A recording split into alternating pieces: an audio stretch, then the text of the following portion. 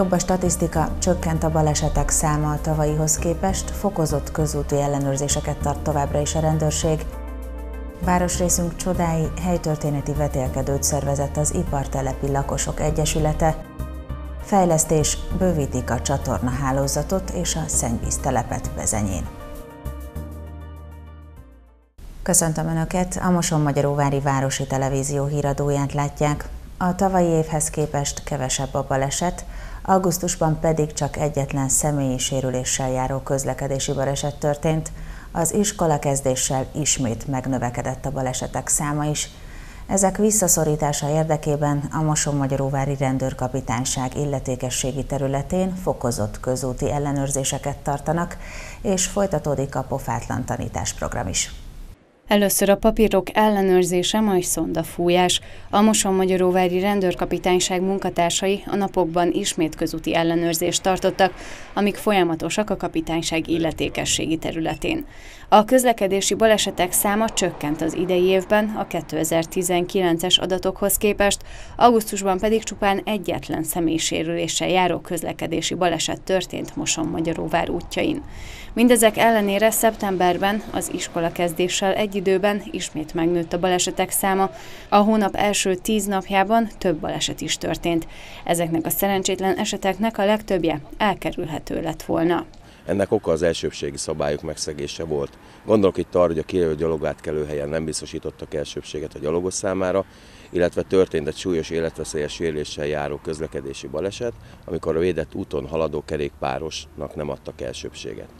Ezeket a jogsértéseket próbáljuk kiszűrni oly módon, hogy civil autóból a kollégák a beépített kamera segítségével rögzítik a szabályszegőket, és velük szemben eljárnak. Továbbra is magas a száma a gyors hajtás miatt bekövetkezett baleseteknek, éppen ezért a rendőrség leállításos sebesség ellenőrzéseket is végez majd. Az év első 8 hónapjában csak nem 60%-kal volt kevesebb személyi sérüléssel járó baleset, mint 2019-ben, ezek közül pedig egyiknél sem volt ittas az okozó. Az anyagi káros baleseteknél viszont több, mint egy tucat esetben mutatott pozitív értéket az alkoholszonda az okozónál. A fokozott közlekedési akciók során igyekeznek a rendőrök kiszúrni a szabályszegőket, a büntetés pedig szabálysértési vagy közigazgatási bírság is lehet. Ha szabálysértési bírságot szabnak ki a kollégák, az 5-től 50 ezer forintig terjed, van olyan, ami közigazgatási bírság hatájára tartozik, például aki tilos jelzést figyelmen kívül hagy, az fix 50 ezer forintos közigazgatási bírsággal sújtandó. A gyorshajtásról annyit kell tudni, hogy egy bizonyos sebességhatár fölött közigazgatási bírság, ami legalacsonyabb összege 30 ezer forint, legmagasabb összege 300 ezer forint, ez alatti összeg viszont ismét szabálysértési bírság, vagy adott esetben olyan mértékű sebességtúlépés figyelmeztetés szankcióval is zárulhat az eljárás. A rendőrség által végzett fokozott közúti ellenőrzések a jövőben is folytatódnak annak érdekében, hogy tovább csökkenjen a balesetek száma. A közlekedésben résztvevők figyelmét pedig igyekeznek felhívni a szabályok betartására. Általános iskolásokat vártak arra a helytörténeti vetélkedőre, melyet Városrészünk csodái címmel szervezett CLLD pályázati forrásból az Ipartelepi Lakosok Egyesülete. A vetélkedőt ötödik alkalommal rendezték meg azzal a céllal, hogy a diákok játékos, kreatív feladatokon keresztül megismerjék lakóterületüket és megőrizzék az emlékeit. Dobozok, papírok, színes ceruzák és különböző kellékek segítségével készülnek a makettek a Fekete István iskoláról. Ez volt az egyik feladat a keddi helytörténeti vetélkedőn, melyet az Óvár építőipari Kft. tornatermében tartottak. Ötödik alkalommal szervezte meg ugyanis pályázati forrásból az Ipartelepi Lakosok Egyesülete a Városrészünk csodái elnevezésű helytörténeti vetélkedőt. Öt évvel ezelőtt kiadtuk az Ipartelep, száz éves az Ipartelep című könyvet, Tuller Pista bácsi segítségével, és hát készítésében, és ezt a, akkor nagyon sok kutatómunkát végeztünk, és ezt valahol szeretnénk továbbadni a gyerekeknek, hogy ők is mm, megőrizzék a terü- lakóterületnek a múltját, az emlékeit. Három helyszínen zajlottak a feladatok, melyeken osztályonként vehettek részt a felsős diákok. Ebben az évben is nagyon változatos feladatokat állítottak össze a, a verseny szervezői az elméleti tudásukról, történelmi tudásukról, a kreatív készségükről, játékosságukról fognak itt számot adni a gyerekek. Az egyik helyszínen nem kifejezetten történelmi, sokkal inkább kreatív, érdekességekkel teli elméleti feladatokat kellett megoldaniuk. Egy másik helyszínen makettet építettek, a harmadikon pedig egy plakátot kellett elkészíteniük ipartelepi témakörben. Szerintem ez az elméleti rész, ez ilyen, a, főleg a braille, braille írásos rész volt az ilyen viccesebb és legmezebb rész, rész is egyben. Mit kellett ott csinálni? Hát ugye megkaptuk a Braille járásnak a ilyen megoldó kulcsát, kaptunk egy szöveget, és Braille járásosan kellett rá válaszolni. A diákok munkáját zsűri is értékelte. Nagy volt a tét, ugyanis a legjobban teljesítő csapatok 150-100, illetve 50 ezer forintot nyertek, melyel az Egyesület az osztálykirándulások buszköltségében segíti az osztályokat. Szennyvízelvezetési és kezelési fejlesztés lesz Bezenyén és a Bezenyei szennyvízelvezetési agglomerációban. Kiépítik a szennyvízhálózatot Papréten és bővítik a csatornahálózatot Dunakilitin, Dunaszigeten, Fekete-Erdőn és Rajkán. A megnövekedett kapacitás miatt pedig átépítik és bővítik a bezenyei szennyvíztisztítót is.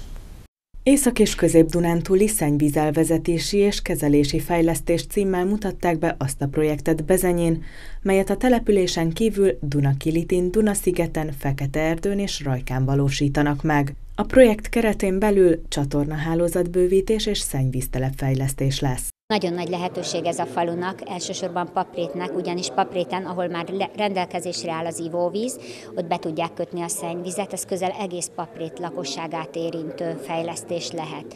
Továbbá a jelenleg teljes kapacitással működő szennyvíztisztító, ami Bezenye közigazgatása területén a Dunánál található, annak a fejlesztése is jelentős előrelépés. A megnövekedett kapacitás miatt ugyanis szükség volt a fejlesztésre. Papréten mintegy 300-an laknak. A csatorna hálózat bővítés keretében bekötik a szennyvízhálózatba azokat az ingatlanokat, melyek már rendelkeznek ivóvízhálózati bekötéssel. Rajka esetében pedig ott, ahol már ugye csatornázat volt a település, ott pedig egy új nyomóvezeték került kiépítésre, a réginek a bővítéseként gyakorlatilag a megnövekedett kapacitások és igények kielégítésére. Jelenleg a bezenyei szennyvíztisztító telep rekonstrukciója felújítása zajlik. Pető Péter a megyei közgyűlés alelnöke szerint ez a fejlesztés újabb lehetőségeket nyit meg. Ma már nem csak az odatelepülés, nem csak a, a munkaerő jelent esetleg akadályt egy vállalkozásnál, vagy egyébként az odaköltözésnél, hanem annak a terhelhetősége. Tehát nem csak a mostaniakat fogja korszerűbben ellátni, hanem újabb lehetőségeket fog nyitni annak, aki egyébként ebben a térségben perspektívát lát. A kivitelezési munkák egy része már befejeződött. A szennyvíztelep megépítése azonban feltétele annak, hogy rá lehessen csatlakozni a rendszerre. A megnövekedett kapacitást ugyanis a szakemberek szerint már csak az átalakított telep bírja el. A fejlesztés teljesen várhatóan jövő nyára készül majd el. Megkezdődnek a Csokonai utca, a Kígyó utca, a Várajai utca, valamint a Mező Imre utca útfelújításának előkészítő munkái szeptember 28-án. A munkálatok során részleges útlezárások várhatók, a teljes útlezárásról külön értesítik a lakosságot. Szintén szeptember 28-a és 30-a között útfelújítási munkákat végeznek a Fekete-Erdei út, Pozsonyi út és a Fekete-Erdei úti temető közötti szakaszán. A munkák során reggel 7 és este 8 óra között részleges vagy teljes útlezárásokra lehet számítani. Ezen korlátozási időszak alatt az útra csatlakozó ingatlanokról és utakról a jelzett szakaszra nem lehet felhajtani.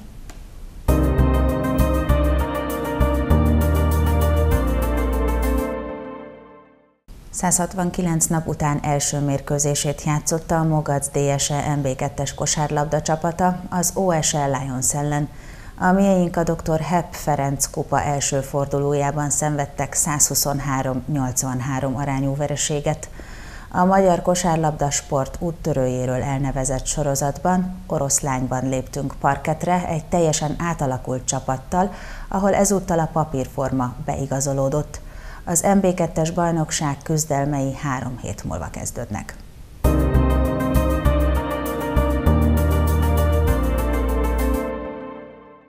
Néhány mondatban a hétvége időjárásáról. Szombat reggel még több felé előfordulhat eső, délután azonban nyugat felől csökken a csapadék és felszakadozik a felhőzet.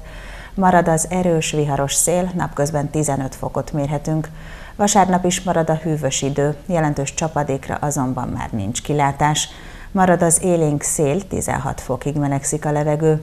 Kedves nézőink, mai hírhátterünk vendége Bubla Zoltán ingatlan szakértő, akivel Horváth Megyesi Kata beszélget. Ezután a Szomszédvár című turisztikai magazin következik.